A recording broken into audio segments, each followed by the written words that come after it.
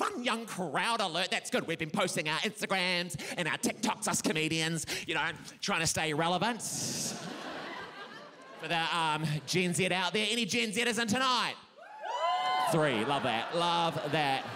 I can't stand Gen Z. I mean, you're welcome here, but they're smug. I'll say it. I think they're a bit smug, you know? Like, I know we're supposed to make this world like a better place for the generations after us, but maybe we've gone too far, you know? They're too confident now. They're telling us what to do. Like, remember when teenagers were awkward and they were like, random? Like, they're not like that. They're not like random. They're not random anymore. They're like, they're 16, they've worked it all out their gender identity, sexual orientations, how to buy clothes and makeup online. They've got it all sorted.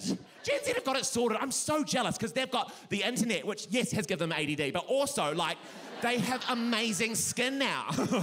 so that's a fair trade, I think.